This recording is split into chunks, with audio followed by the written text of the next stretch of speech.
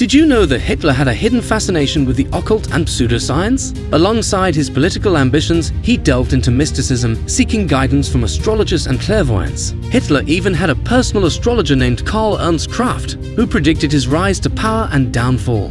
The dictator's interest extended to legendary artifacts like the Holy Grail and the Spear of Destiny, which he believed possessed supernatural powers. He sent expeditions to find such relics. This curiosity sheds light on the unconventional influences that played a role in shaping his ideologies and decisions as the leader of Nazi Germany.